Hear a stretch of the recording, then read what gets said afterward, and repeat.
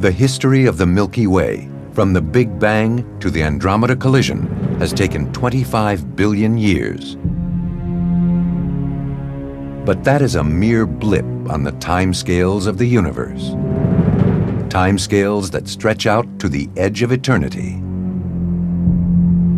Our galaxy is now entering deep time. The beginning of the end will be seen in the fate of countless suns like our own. Some 10 billion years from now, our red giant star will begin to blow out its outer layers in a fierce explosion. The result? A cosmic light show, the furious poetry of the stars.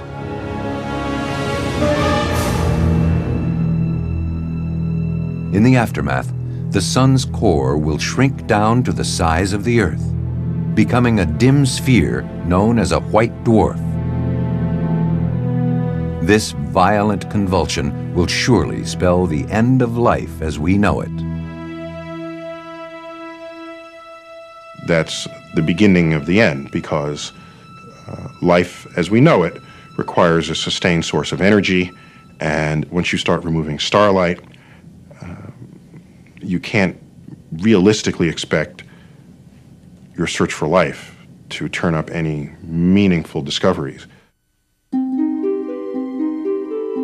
Yet a certain kind of hope does remain.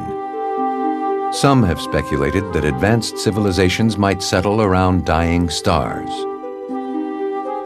Even those civilizations are destined to one day fail.